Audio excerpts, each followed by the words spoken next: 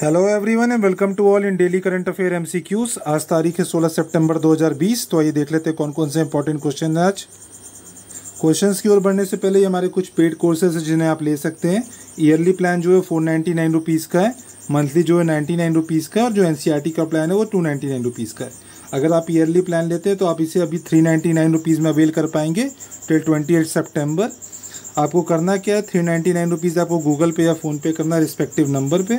उसके बाद स्क्रीनशॉट को शेयर करना है व्हाट्सएप पे। जैसे आप स्क्रीनशॉट को शेयर करते हैं, अब ये सारी फैसिलिटीज़ को अवेल कर पाएँगे और साथ में जो भी आप लोग करंट अफेयर डिस्कस करने जा रहे हैं, उसके पीडीएफ नोट को भी अवेल कर पाएँगे। तो चलिए बढ़ते हैं आगे। जो हमारा पहला क्वेश्चन है, वो सिंगापुर कन्वेंशन ऑन मेडिएशन के बारे में है। तो आइए स्टेटमेंट्स को ध्यान से देख लेते हैं। पहला स्टेटमेंट ये कहता है कि जितने भी कॉरपोरेट डिस्प्यूट हैं जो कि मेडिएटेड सेटलमेंट के थ्रू सेटल किए गए हैं, उनको ये बेहतर तरीके से इन्फोर्स करेगा। हमारा जो दूसरा स्टेटमेंट है, वो ये कहता है कि ये जो कन्वेंशन है, उसको यूनाइटेड नेशन कन्वेंशन भी कहा जाता है, या जाना जाता है। जो हमारा तीसरा स्टेटमेंट है, वो ये कहता है कि इंडिया जो है, वो अभी इस कन्वेंशन का सिग्नेटरी नहीं है। तो बताइए कौन कौन सा स्टेटमेंट करेक्ट है? तो मैं आपको बता देना चाहता हूँ, पहला स्टेटमेंट बिल्कुल करेक्ट है, दूसरा भी बिल्कुल करेक्ट है, लेकिन तीसरा जो है, वो इनकरेक्ट है। तो ऑप्शन ए जो होता है वो करेक्ट हो जाता है। आइए जान लेते हैं इसके बारे में।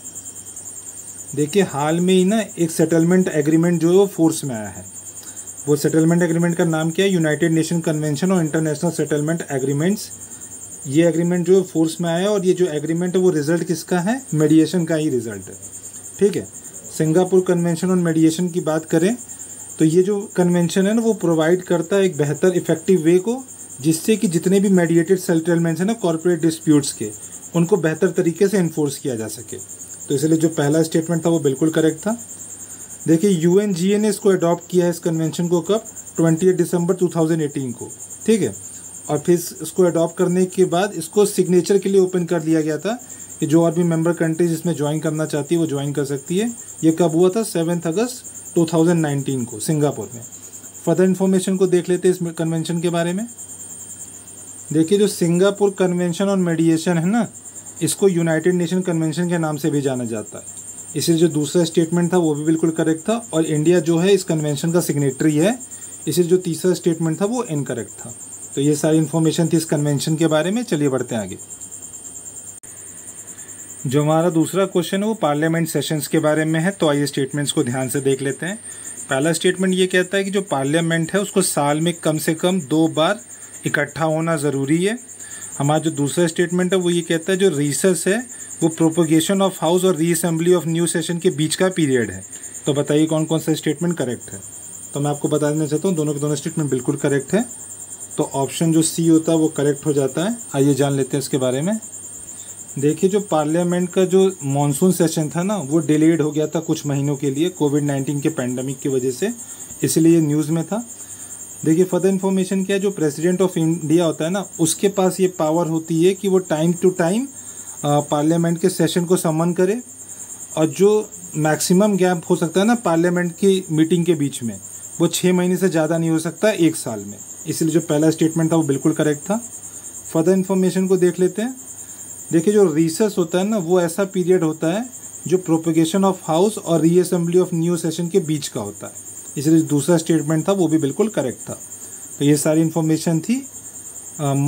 सेशंस के बारे में पार्लियामेंट के, चलिए बढ़ते हैं आगे। जो हमारा थर्ड क्वेश्चन है, वो इंडियन ब्रेन टेम्पलेट्स के बारे में है। तो आइए स्टेटमेंट्स को ध्यान से देख लेते हैं। पहला स्टेटमेंट ये कहता है कि ये जो ब्रेन टेम्पलेट्स है, वो एक तरह का रिप्रेजेंटेज रिप्रेजेंटेशन है, जिसमें बहुत सारी ब्रेन इमेजेस को यूज़ किया जाता है, ये अंडरस्टैंड करने के लिए कि ब्रेन कैसे फ़ंक्शन करता है। हमारा जो सेकंड स्टेटमेंट है, वो ये कहता है, ये जो टेम्पलेट्स है, वो डेवलप किए गए हैं national institute of mental health and neuroscience के द्वारा। तो बताइए कौन कौन से स्टेटमेंट करेक्ट हैं? तो मैं आपको बता देना चाहता हूँ, दोनों के दोनों स्टेटमेंट बिल्कुल करेक्ट है तो ऑप्शन सी जो होता है, वो करेक्ट हो जाता है। आइए जान लेते हैं इसके बारे में। देखिए, जो national institute of mental health and neuroscience है ना, उसके कुछ न्यूरो साइंटिस्टों ने मिलके इंडियन ब्रेन टेम्पलेट्स को डेवलप किया है और इन्होंने ब्रेन एटलेस को भी डेवलप किया है। देखिए ब्रेन टेम्पलेट होता क्या है? इसमें होता क्या है कि एक तरह का ग्रॉस रिप्रेजेंटेशन है, जिसमें बहुत सारी ब्रेन इमेजेस को एक साथ रखा जाता है और ये समझा जाता है कि ब्रेन कैसे फ़ंक्शन करता है डिज़ीज़ कंडीशन में। इसलिए जो पहला स्टेटमेंट था वो बिल्कुल करेक्ट था। फर्दर इन्फॉर्मेशन को देख लेते हैं। देखिए, जो इस इंस्टीट्यूट के न्यूरो साइंटिस्ट है ना, उन्होंने कम से कम 500 ब्रेन स्कैन्स को स्टडी किया है। ये सारे ब्रेन स्कैन जो वो इंडियन पेशेंट के हैं और इन ब्रेन स्कैन्स की स्टडी के बाद क्या हुआ है? फाइव सेट को फॉर्म किया गया। पाँच सेट को बनाया गया इंडियन ब्रेन टैंपलेट्स के और ब्रेन एटलेस के। ठीक है? जिससे कि फर्दर इन्फॉर्मेशन हो सके ब्रेन की फंक्शनैलिटी के लिए। तो ये सारी इन्फॉर्मेशन थी इन टैंपलेट्स के बारे में। चलिए बढ़ते हैं आगे। जो हमारा फोर्थ क्वेश्चन है, उसमें कुछ स्टेटमेंट्स दी गई हैं तो आइए स्टेटमेंट्स को ध्यान से देख लेते हैं। पहला स्टेटमेंट ये कहता है, जो रिटेल इन्फॉर्मेशन है, वो मेज़र किया जाता है कंज्यूमर प्राइस इंडेक्स के द्वारा. हमारा जो दूसरा स्टेटमेंट है, वो ये कहता है, जो होलसेल प्राइस बेस इन्फ्लेशन होता है, उसको मेज़र किया जाता है होलसेल प्राइस इंडेक्स के द्वारा. तो बताइए कौन कौन सा स्टेटमेंट करेक्ट है? तो मैं आपको बता देना चाहता हूँ, दोनों के दोनों स्टेटमेंट बिल्कुल करेक्ट हैं तो ऑप्शन सी करेक्ट हो जाता है। आइए जान लेते हैं इसके बारे में। देखिए, हाल में ही ना इन्फ्लेशन के डाटा को रिलीज़ किया गया है फॉर अगस्त 2020 के लिए। तो इसीलिए ये न्यूज़ में था। ठीक है फर्दर इन्फॉर्मेशन को देख लेते हैं। देखिए, जो रिटेल इन्फ्लेशन होता है ना, उसको मेज़र किया जाता है कंज्यूमर प्राइस इंडेक्स के अंतर्गत। देखिए, इसमें क्या होता है ना, इस प्राइस इंडेक्स के अंतर्गत क्या जो प्राइस का चेंज होता है ना, वो मेज़र किया जाता है रिटेल लेवल पे। ठीक है, और ये जो डेटा है वो रिलीज़ किया जाता है किसके द्वारा? एन के द्वारा। होलसेल प्राइस इंडेक्स की बात कर लें। तो देखिए, जो होलसेल प्राइस इंडेक्स है ना, इसमें जो प्राइस है वो मेजर किया जाता है होलसेल लेवल पे। और इसको पब्लिश किया जाता है office of economic adviser ministry of commerce and industry के द्वारा।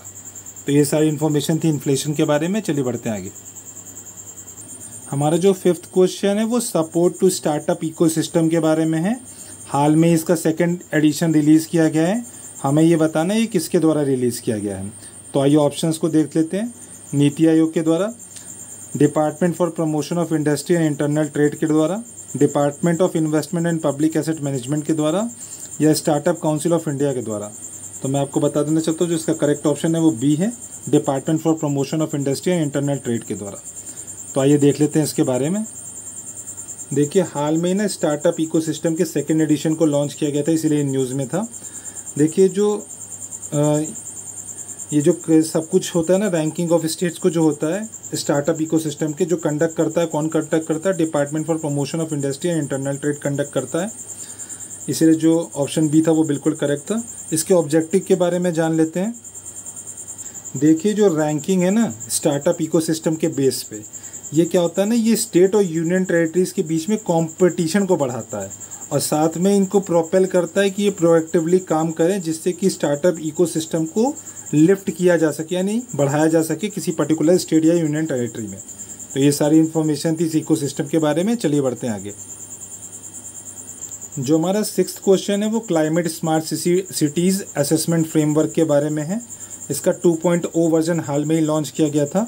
हमें ये बताना है, ये किसके द्वारा लॉन्च किया गया है? तो आइए ऑप्शंस को देख लेते हैं। Ministry of environment forest and climate change के द्वारा ministry of housing and urban affairs के द्वारा ministry of commerce and industry के द्वारा या ministry of new and renewable energy के द्वारा।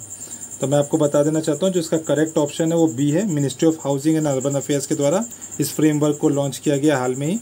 जा, आइए जान लेते हैं इसके बारे में। देखिए, हाल में ही ना इस असेसमेंट को रिलीज़ किया गया ministry of housing and urban affairs के द्वारा, इसीलिए न्यूज़ में था। देखिए जो इनिशिएटिव है ना, ये जो फ्रेमवर्क है, वो एक तरह का इनिशिएटिव है। इसमें क्या होता है, जो अर्बन प्लानिंग और डेवलपमेंट है ना इंडिया का, उसमें क्या होता है क्लाइमेट सेंसिटिव अप्रोच को इनकलकेट किया जाए। ठीक है?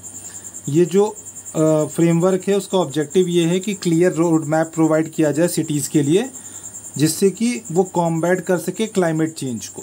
उसी हिसाब से प्लानिंग की जाए, उसी हिसाब से इन्वेस्टमेंट किया जाए, और उसी हिसाब से एक्शंस को भी इम्प्लीमेंट किया जाए। ठीक है? जो क्लाइमेट सेंटर फॉर सिटीज़ है ना, जो कि under national institute of urban affairs है, वो सपोर्ट करती है ministry of housing and urban affairs को, जो कि, जिससे कि मतलब इस फ्रेमवर्क को इम्प्लीमेंट किया जा सके। फर्दर इन्फॉर्मेशन को देख लेते हैं इस फ्रेमवर्क के बारे में। देखिए, जो फ्रेमवर्क है ना, उसमें 28 इंडिकेटर्स है और इन 28 इंडिकेटर्स को सेग्रीगेट किया गया पाँच कैटेगरीज में। तो वो कैटेगरीज जो है वो नीचे लिस्टेड है. Energy and green buildings urban planning green cover and biodiversity mobility and air quality water management and waste management तो ये सारी इसकी कैटेगरीज है. तो ये सारी इन्फॉर्मेशन थी इस फ्रेमवर्क के बारे में. चलिए बढ़ते हैं आगे. जो हमारा सेवन्थ क्वेश्चन है वो नेट प्रेजेंट वैल्यू के बारे में है. ये जो टर्म है कभी कभी न्यूज़ में देखा जाता है. हमें ये बताना है ये जो टर्म है वो किस चीज़ से रिलेटेड है? तो आइए ऑप्शंस को देख लेते हैं। क्लाइमेट चेंज किस से रिलेटेड है? कोविड नाइन्टीन वैक्सीन के ट्रायल से रिलेटेड है।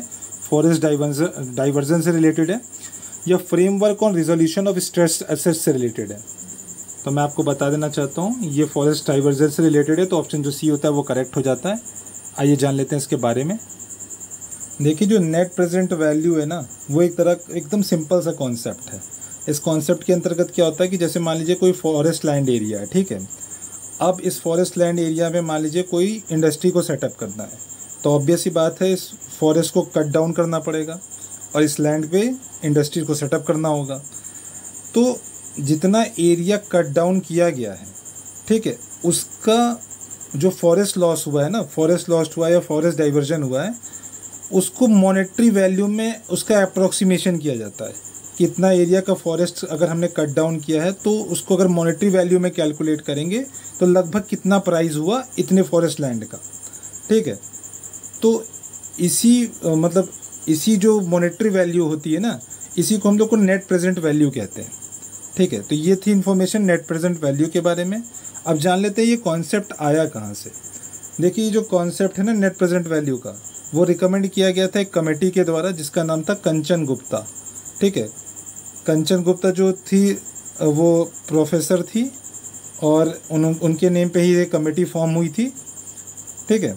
तो उन्होंने ये रिकमेंडेशन दिया था कि नेट प्रेजेंट वैल्यू को इम्प्लीमेंट किया जाए, अगर आप फॉरेस्ट डाइवर्जन को इम्प्लीमेंट करते हैं तो। इस रिकमेंडेशन को क्या हुआ? रेगुलेट किसने किया? सुप्रीम कोर्ट ने रेगुलेट किया। नेट प्रेजेंट वैल्यू को इम्प्लीमेंट करके डाइवर्टेड लैंड्स के लिए। फर्दर इन्फॉर्मेशन को देख लेते हैं। देखिए फर्दर इन्फॉर्मेशन यही बताती है कि अगर आप मान लीजिए कोई इंडस्ट्रियल एंटरप्राइज सेटअप कर रहे हैं तो उस लैंड का जो अपने इस इस इंडस्ट्री की वजह से डाइवर्ट किया है, उसका कैलकुलेशन कैसे किया जाएगा? मतलब नेट प्रेजेंट वैल्यू का अंदाज़ा कैसे लगाया जाएगा? तो ये अंदाज़ा लगाया जाएगा कि वो जो फॉरेस्ट एरिया था, वो कहाँ पे लोकेटेड था? सिटी के पास था या सिटी से दूर था? या रूरल एरिया में था? वहाँ पे किस टाइप का फॉरेस्ट होता था? ठीक है? और वह, ये भी डिपेंड करेगा कि किस टाइप की इंडस्ट्री भी सेटअप की जा रही थी। तो इन सारे पैरामीटर्स को कंसीडर करके ये पता किया जाएगा कि जो नेट प्रेजेंट वैल्यू है, उसका मॉनेटरी वैल्यू कितनी होगी। ठीक है? तो ये सारी इन्फॉर्मेशन थी नेट प्रेजेंट वैल्यू के बारे में, चलिए बढ़ते हैं आगे। जो हमारा एथ क्वेश्चन है, वो मॉनेटरी पॉलिसी के बारे में है। ये कहता है कि एक मॉनेटरी पॉलिसी है जिसके अंतर्गत बहुत सारी करेंसी को प्रिंट कर दिया जाता है और उस उस मनी को क्या किया जाता है? पब्लिक में डिस्ट्रीब्यूट कर दिया जाता है, जिससे कि इकोनॉमी को रिवाइव किया जा सके रिसेशन के दौरान। तो ऐसी मॉनेटरी पॉलिसी को को कौन से टर्म से जाना जाता है? हेलीकॉप्टर मनी के नाम से जाना जाता है जेट मनी के नाम से जाता, जाना जाता है पुशिंग मनी के नाम से जाना जाता है लिक्विड मनी के नाम से जाना जाता है। तो बताइए कौन सी मॉनेटरी पॉलिसी है जिसके अंतर्गत ये एक्शन लिया जाता है? तो मैं आपको बता देना चाहता हूँ ये हेलीकॉप्टर मनी है तो ये ऑप्शन ए जो होता है वो करेक्ट हो जाता है। आइए जान लेते देखिए, जो हेलीकॉप्टर मनी है ना, वो एक तरह का अनकन्वेंशनल मॉनेटरी पॉलिसी टूल है, किसी भी सेंट्रल बैंक का। ठीक है? इस टूल के अंतर्गत किया क्या जाता है? देखिए, मैं आपको बता देता हूँ, एक छोटा सा कॉन्सेप्ट है, उसको समझ लेते हैं। देखिए, मान लीजिए जैसे कोई इकनॉमी है, ठीक है? अब किसी इकनॉमी में क्या है डिमांड एकदम ज़ीरो हो गई। मतलब रिसेशन का दौर चल रहा था, लोगों के पास पैसे नहीं है। पैसे ख़त्म हो गए रिसेशन में। तो आपकी जो डिमांड क्या होगी, वो ज़ीरो हो जाएगी, ख़त्म हो जाएगी। जैसे डिमांड ख़त्म होगी, वैसे इन्फ्लेशन भी ज़ीरो हो जाएगा और इकनॉमी भी डिक्लाइन पे चली जाएगी, वो भी ज़ीरो पहुँचने लगेगी। तो इस केस में क्या होता है कि जो सेंट्रल बैंक होती है ना, किसी भी कंट्री की, वो क्या करती है, helicopter money monetary policy tool का यूज़ करती है। इसमें क्या होता है, जो सेंट्रल बैंक है, बहुत सारी करेंसी को प्रिंट कर देती है और प्रिंट करने के बाद वो लोगों के बीच में डिस्ट्रीब्यूट कर देती है। जैसे ही लोग पास पैसा आता है, लोगों की स्पेंडिंग कैपेसिटी बढ़ जाती है, वो स्पेंड करने लगते हैं। जैसे ही वो खर्च करना शुरू करते हैं इकोनॉमी में डिमांड रिवाइव कर जाती है। जैसे ही डिमांड रिवाइव करती है इन्फ्लेशन बढ़ जाता है और इकोनॉमी भी रिवाइव कर जाती है। ये स्टेप जनरली रिसेशन के दौरान लिया जाता है। ठीक है? फर्दर इन्फॉर्मेशन को देख लेते हैं। फर्दर इन्फॉर्मेशन में यही मेंशन है कि जो टर्म है ना, वो क्वाइन किया गया था एक अमेरिकन इकोनॉमिस्ट मिल्टन फ्राइडमैन के द्वारा। जो कि ये डिनोट करता है ना कि एक तरह का ऐसा टूल है जिसमें कि मनी को डायरेक्टली स्काई से ड्रॉप किया जा रहा है लोगों के पास। ये ऐसा ही होता है कि जैसे मान आपने खूब सारा पैसा प्रिंट करके लुटा दिया हो तो मतलब आप यहाँ पे कैसे लुटा रहे हो? हेलीकॉप्टर के थ्रू तो ये मतलब एक टर्म था, इसको क्वाइन करने के लिए उन्होंने इसको ऐसे डिनोट कर दिया था और इसीलिए इसका नाम पड़ गया हेलीकॉप्टर मनी तो ये सारी इन्फॉर्मेशन थी हेलीकॉप्टर मनी के बारे में। चलिए बढ़ते हैं आगे। जो हमारा नाइन्थ क्वेश्चन है, वो एशियन डेवलपमेंट बैंक के बारे में है तो आइए स्टेटमेंट्स को ध्यान से देख लेते हैं। पहला स्टेटमेंट कहता है कि एशियन डेवलपमेंट बैंक का ये एम ही है कि सोशल और इकोनॉमिक डेवलपमेंट को प्रमोट किया जाए एशिया में। हमारा जो दूसरा स्टेटमेंट है, वो ये कहता है कि जो एशियन डेवलपमेंट बैंक है, वो ऑफिशियल ऑब्जर्वर है यूनाइटेड नेशंस का। तो बताइए कौन कौन सा स्टेटमेंट करेक्ट है? तो मैं आपको बता देना चाहता हूँ, दोनों के दोनों स्टेटमेंट बिल्कुल करेक्ट है तो ऑप्शन सी करेक्ट हो जाता है। आइए जान लेते हैं इसके बारे में। देखिए जो एशियन डेवलपमेंट बैंक है ना, वो एक तरह का रीजनल डेवलपमेंट बैंक है, जो कि इस्टेब्लिश किया गया था 19 दिसंबर उन्नीस को, यानी 19 दिसंबर 1966 को। ठीक है? इसका जो एम है वो है सोशल और इकोनॉमिक डेवलपमेंट को प्रमोट करना एशिया में। तो इसलिए जो पहला स्टेटमेंट था, बिल्कुल करेक्ट था। फर्दर इन्फॉर्मेशन क्या है कि जो एशियन डेवलपमेंट बैंक है, वो कमिटेड है क्या अचीव करने के लिए? प्रॉस्पेरस इंक्लूसिवनेस रिजाइलेंट और सस्टेनेबल एशिया एंड पैसिफिक को जिससे कि इरेडिकेट किया जा सके पोवर्टी को। ठीक है? फर्दर इन्फॉर्मेशन क्या है कि एडीपी का जो हेडक्वार्टर है वो मनीला में है और ए जो है वो ऑफिशियल ऑब्जर्वर भी है यूएन का। तो इसलिए जो दूसरा स्टेटमेंट था वो बिल्कुल करेक्ट था। हाल में ही ना ये अनाउंस आपको पता ही होगा कि जो इलेक्शन कमिश्नर थे अशोक लवासा, उनको वाइस प्रेसिडेंट बना दिया गया है एडीबी का। तो ये सारी इन्फॉर्मेशन थी एडीबी के बारे में। चलिए बढ़ते हैं आगे। जो हमारा टेंथ क्वेश्चन है, वो इंडेक्स ऑफ़ इंडस्ट्रियल प्रोडक्शन के बारे में है। तो आइए स्टेटमेंट्स को ध्यान से देख लेते हैं। पहला स्टेटमेंट ये कहता है कि ये जो इंडेक्स है, वो पब्लिश किया जाता है एनएसओ के द्वारा, सालाना। जो हमारा दूसरा स्टेटमेंट है, वो ये कहता है कि जो बेस ईयर है आईआईपी का, वो है 2011 और 12 तो बताइए कौन कौन सा स्टेटमेंट करेक्ट है? तो मैं आपको बताने चाहता हूँ, जो पहला स्टेटमेंट है, वो इनकरेक्ट है, लेकिन दूसरा बिल्कुल करेक्ट है। तो ऑप्शन बी करेक्ट हो जाता है। आइए जान लेते हैं इसके बारे में। देखिए जो इंडेक्स है ना, वो एक तरह के इंडिकेटर है, जो कि मेज़र करता है इंडस्ट्रियल प्रोडक्ट्स के प्रोडक्शन के वॉल्यूम में चेंजेस को, ठीक है? फर्दर इन्फॉर्मेशन को देखें तो ये जो इंडेक्स है ना, वो कंपाइल और पब्लिश किया जाता है मंथली मतलब हर मंथ इसको पब्लिश किया जाता है, ना कि ईयरली इसलिए जो पहला स्टेटमेंट था वो इनकरेक्ट था। कौन इसको पब्लिश करता है? एन इसको पब्लिश करता है under ministry of statistics and programme implementation देखिए वही है कि जो आईआईपी है ना, वो एक तरह का कंपोजिट इंडिकेटर है, जो कि मेज़र करता है ग्रोथ रेट को इंडस्ट्री में। और ये क्लासीफाई किया गया कुछ ग्रुप के अंतर्गत, जो कौन कौन से ग्रुप हैं? ब्रॉड सेक्टर्स में, जैसे कि माइनिंग मैन्युफैक्चरिंग और इलेक्ट्रिसिटी ठीक है? और इसका जो बेस ईयर है, वो है 2011 और 12 इसलिए जो दूसरा स्टेटमेंट था, वो करेक्ट था। तो ये सारी इन्फॉर्मेशन थी आईआईपी के बारे में। चलिए बढ़ते हैं आगे। Okay we have reach to the end thanks a lot for your support If you found it knowledgeful, please hit the like button, subscribe to our channel and share this video. If you want to access our free study material, you can join our telegram group. The link will be provided in the description box. And thank you for watching the video. Have a good day.